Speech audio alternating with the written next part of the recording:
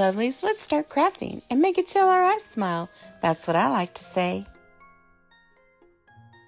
We're going to begin by using one of these little wood houses from the 99 cent store and some stencils that I had received from Beebeecraft.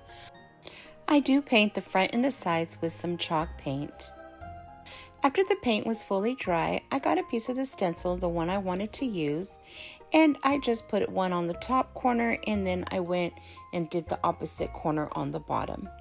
Now this paint I do get at Dollar Tree. I love this mustardy color. Very pretty acrylic paint.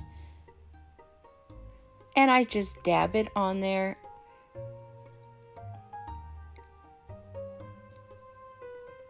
And then lift. Once it was dry, I did a few touch-ups. Now I'm going to set it aside and let it dry. Now these letters I did receive from Beebeecraft also. I love that you get a bunch of different letters and they're in their own little sections. I thought that was really neat. I took K-I-N-D to spell kind and I just painted them with the black acrylic paint. I glued them onto the front of the little house the ribbon I did get at Dollar Tree and I just wrapped it around. I thought it matched perfectly with the honeycomb pattern. Now these are also from Beebeecraft. Aren't they gorgeous? They're bees with rhinestones. Absolutely gorgeous, stunning bumblebees. And I thought it looked so pretty. Be kind, right?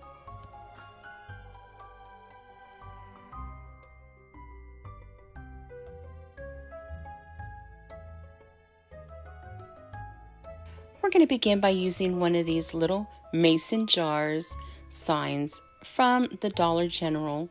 I thought it was so cute and I love what it said. I didn't want to change a thing. So all I did was add some of these Amazon bees to the sign. And oh, it just gave it a cute little touch, right? And then I decided to add some more ribbon from the Dollar Tree and I'm just going to lift up the tin part of the lid of the jar uh, just a little bit to slide that ribbon in there and then I just add dabs of glue and then pinch the fabric together to kind of give it a little ruffle look. I just trim the ribbon and then glue behind.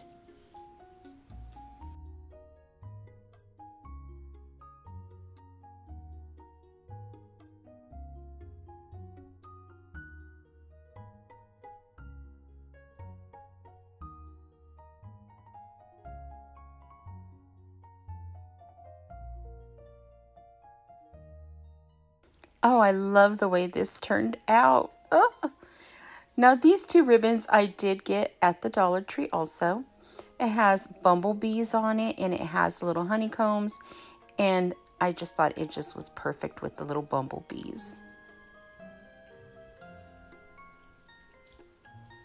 And glue it right there to the corner of the mason jar. I do glue some of the tail down just so they stay where I want them to stay. I don't like unruly ribbon tails. And then you just trim to how long you want them.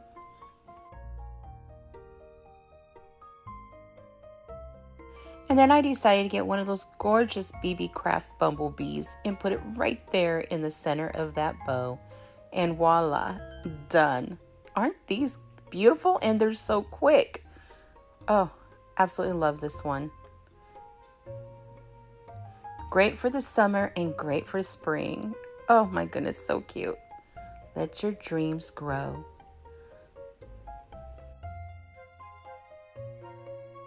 So for this one, we're going to begin with using some of this.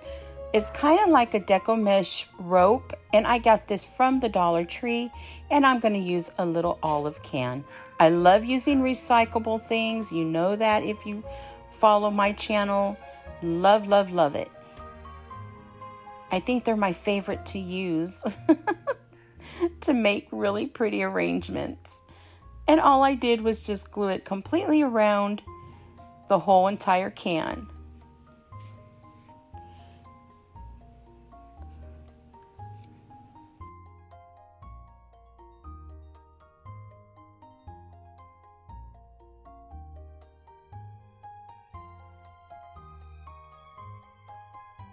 And just in the center, I added the little bumblebee ribbon from Dollar Tree with a little bow. Now I got some styrofoam and just cut a little piece to fit inside that can and added some of these beautiful Dollar Tree little flowers. I just cut them all apart and then place them where I want. I didn't even glue in case I ever want to change the floral in it. I do add some moss in the bottom just so you don't see the styrofoam. And that was that simple.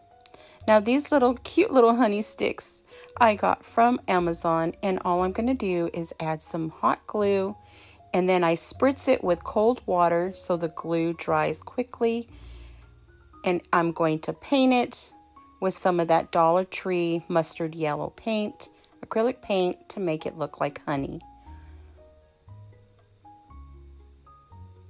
And then I'm going to glue it right inside, just sticking out a little bit of that cute little flower arrangement. I do add one of those Beebeecraft bumblebees right in the center of the bow and then one of the little Amazon bumblebees right there on the tip of that honeycomb stick.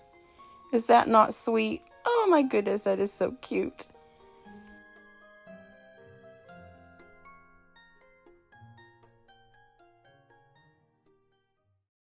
Today's video is part of Leeny and Catherine's Tier Tray Thursday. It will be every third Thursday of the month. It's where we make tier trays, things for tier trays, or just decorate a tier tray. Isn't that fun? I hope you join us every third Thursday of the month. We're going to begin by using one of these Beebeecraft plant rounds. They come in different sizes and they're great for different projects, but I love using these for a base for a gnome. So I'm going to put it inside the stocking and then add pebbles, rocks, sand. You can add beans or rice, whatever you like, just for some weight for the gnome. You only need a little bit and then you fill it up the rest with cotton. As you can tell, this was from an old throw pillow that I had. You can use from old stuffed animals. Is perfect for this also. Once I get it to the size I want, I'm going to push it on in there and then I'm going to twist my sock and then I'm going to use twine and I'm going to wrap it around twice and then make a double knot. You can use little rubber bands if you like, but I choose to use twine or yarn. I make sure it's really nice and tight.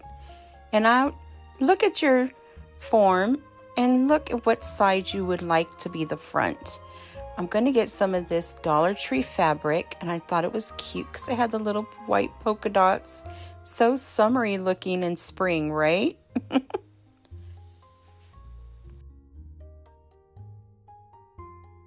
Well, I gather it tightly on the top and around, and I'm holding it as I'm pulling just to make sure that it is going to be a tight fit.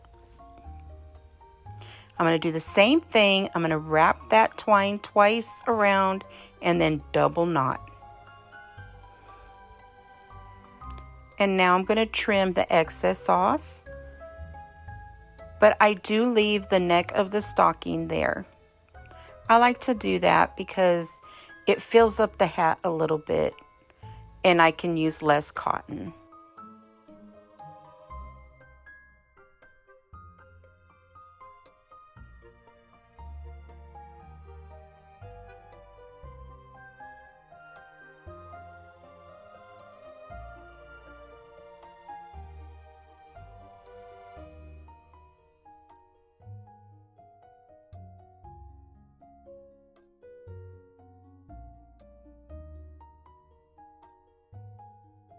Now after I'm done trimming, I just go around on the inside with some hot glue around the neck And then I pull up to make sure everything is staying in place.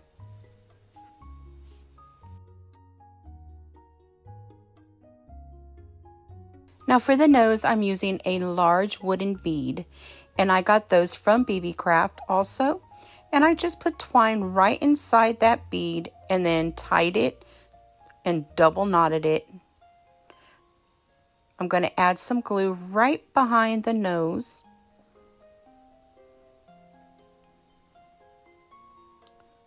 And there, look at that cute, has its nose.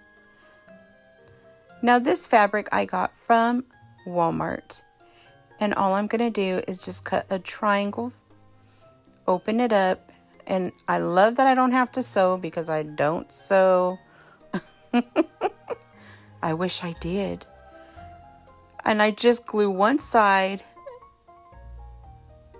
fold it over on the bottom because I want it to have a nice rim for his hat her hat. I'm making a girl gnome.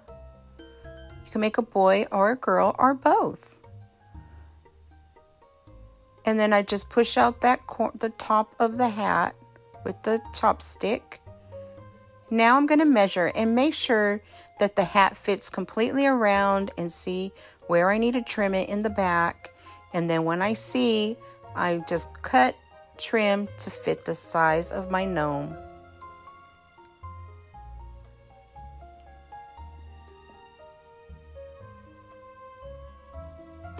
Fill up the hat with some cotton. And I'm using that chopstick just to push it all the way to the tip of that hat.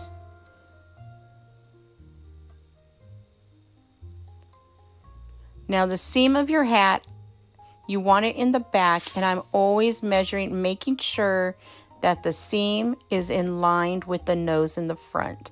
See the seam in the back? And there's the nose. I don't know why, but that's just how I how I always do it.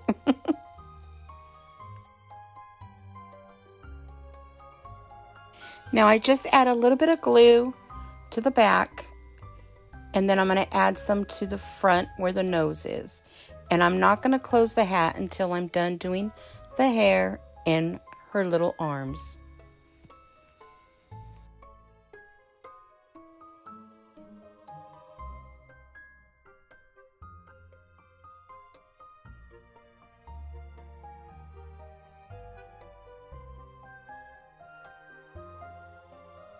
Now for the arms, I'm just going to take two little strips of fabric and I just, you make them as long as you want and as wide as you want. It is completely up to you.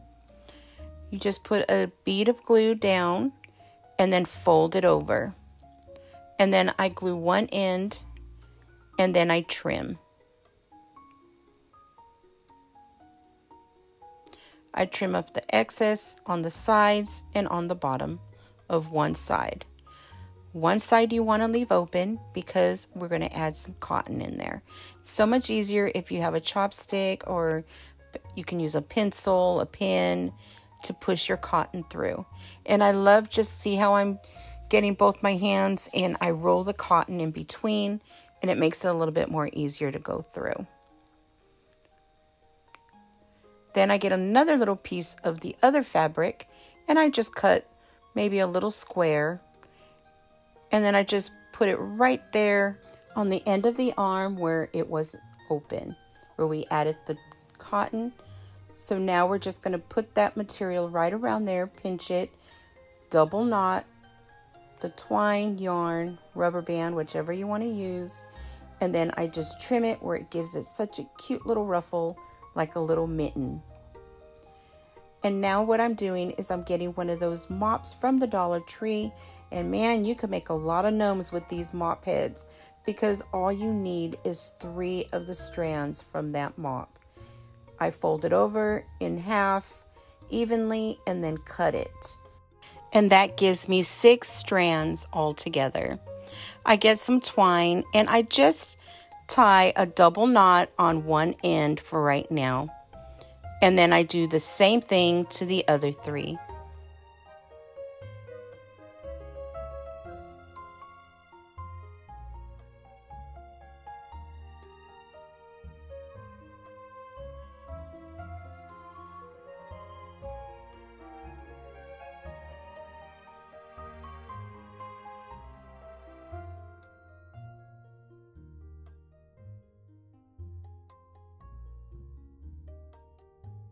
Then I glue each top of the braid and tuck it right underneath the hat next to that nose.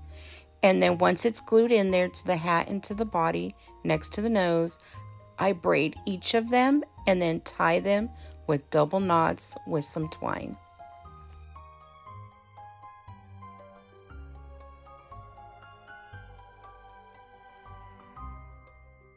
Once they're braided, then I trim each bottom to make sure they're even. And then I glue the hat down some more.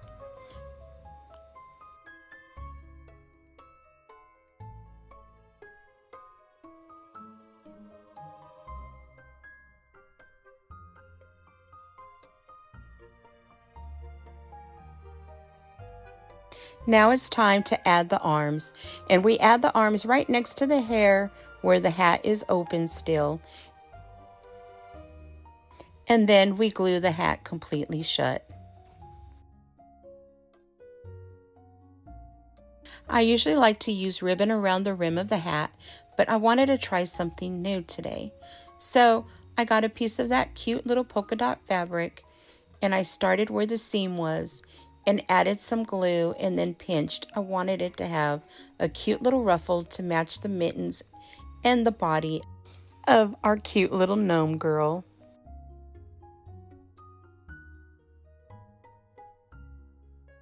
Isn't she looking sweet? How adorable.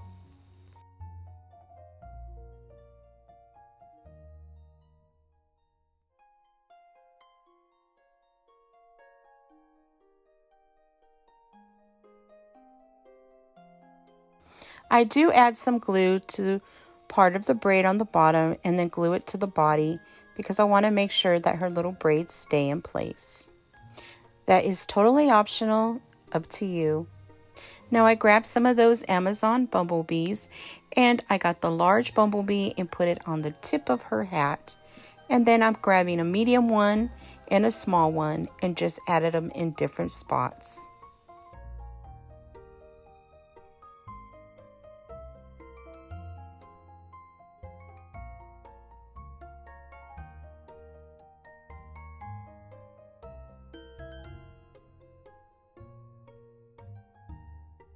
Now I got this cute little headband set from the Dollar Tree and I just removed the little antennas and the wings and I thought it would look so cute on this cute little gnome. I put some glue on the end and then tucked it into the ruffle. And I do this to both sides.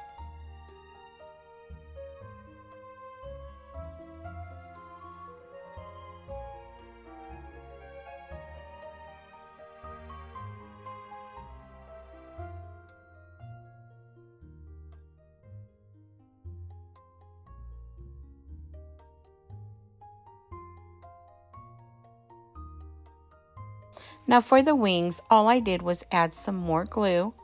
And you want the side to see when you're looking straight at the gnome, you want to be able to see the black stripes. So I kind of glued them to the back of the hat and to the body backwards.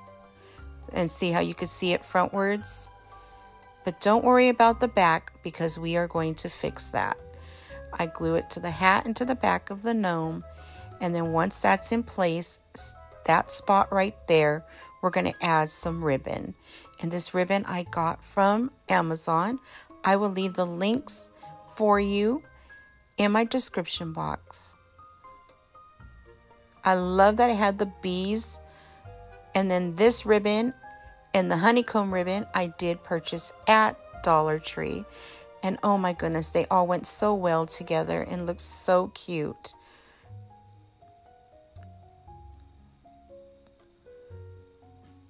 So I'm making simple little bows and putting them in the middle. And then the B one, I just crisscrossed a ribbon and put it in the center. After I glued them together, I thought, hmm, it needs something. So I added one of those cute little bumblebees in the center of the bow.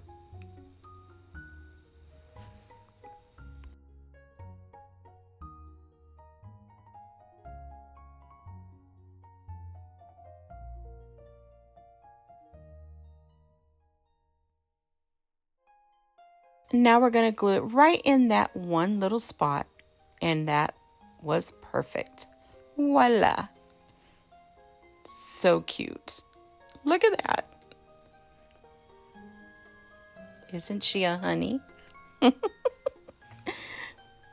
so for her hands, I added some glue to each wing of the bee, the bumblebee, and that is from Beebeecraft. She has to have her bling bumblebee, our little Miss Honey. And now look at that. Oh my gosh, is that not stunning? And now I'm making one more of those little honey sticks, honeycomb sticks. And of course, I add hot glue to it, let it drip. And as it's dripping, I spray cold water on it and it makes it dry really quick. So I love that. So I get the nice drip that I want. And then I paint it.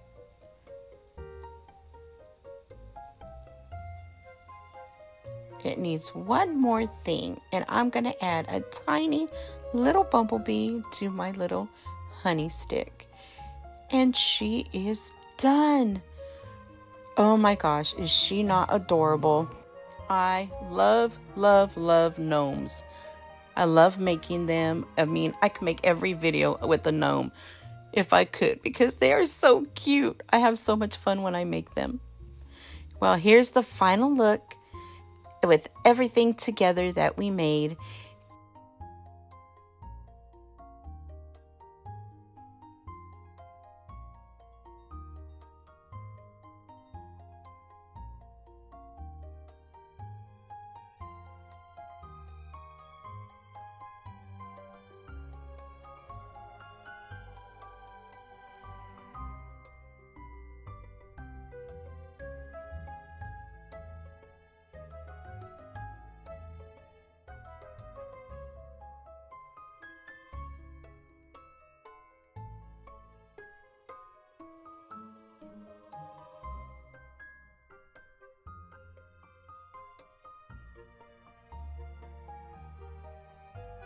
Okay, lovelies, I hope you enjoyed what I made today. Please give this video a big thumbs up. I so appreciate it from the bottom of my heart. Thank you. And if you're new, welcome. Thank you for visiting me today. I hope you subscribe. I really love for you to be part of my Krafty Leeny World family. And when you do so, don't forget, click that bell and hit all so YouTube will notify you every time I upload a new video.